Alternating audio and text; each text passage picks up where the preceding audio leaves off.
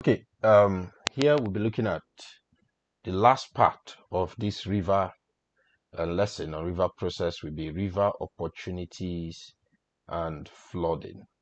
So, what are the advantages of having a river and um, flooding aspect of a river? So, that's it. So, quickly, opportunity of living close to a river. So, um, one is when you have fertile land. So, rivers create fertile land, um, so farmers can have high yield of crops. Um, land is flat, so it's easy for building. Uh, it helps in water supply from rivers. So, food supply, such as fish, also from rivers. Um, the beauty gives a good view of an area.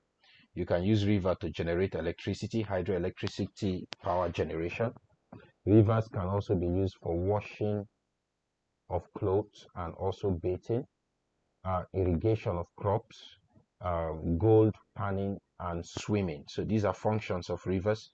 You can actually just read through it. It's just importance of rivers are the opportunities. Then river flooding, which is next, it has to do. So flooding occur when the capacity of the river channel is exceeded. So the water can no longer flow, flow within its channel. So the water flows over the bank and onto the surrounding areas. That is what causes flooding. That's river flooding. So now, what are the causes of flooding? One is heavy rainstorm or rainfall. Now, rain fall over a long period of time, not just heavy, but over a long period of time. Melting of snow and glaciers, impermeable rocks, so water cannot penetrate, water cannot percolate and infiltrate. Now, rivers have many tributaries. So, if there are a lot of tributaries joining the main course, you expect that uh, they can easily be flooding within the lower part of a river. Now, when you have urban growth, urban growth will lead to um, things like um, building of roads.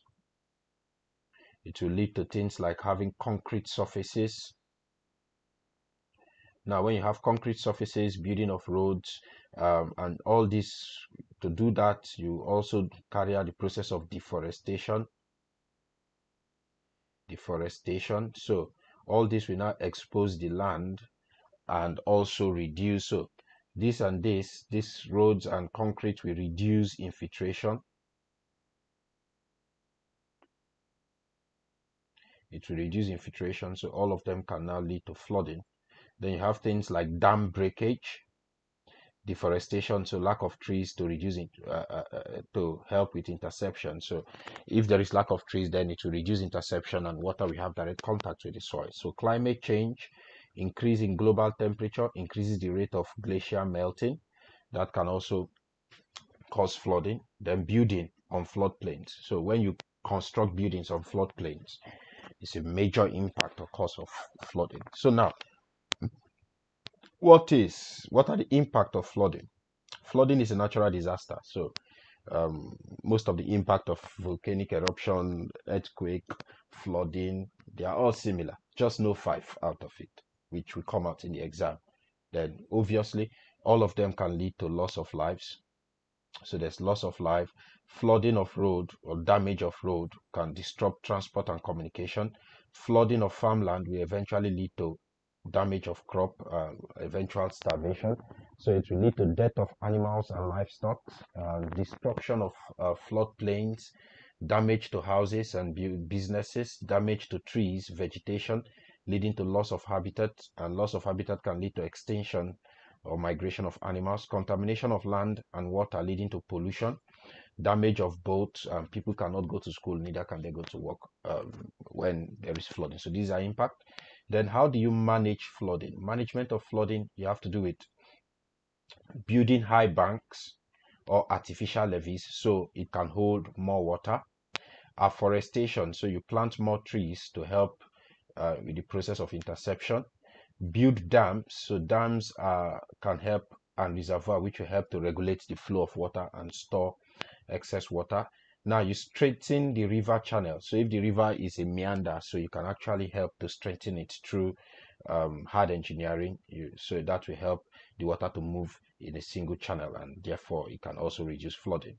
Now restrict building on the floodplain. So there should be no building zones close to a river. So close to a floodplain, no building should be allowed. That will help to um, with the process of interception also.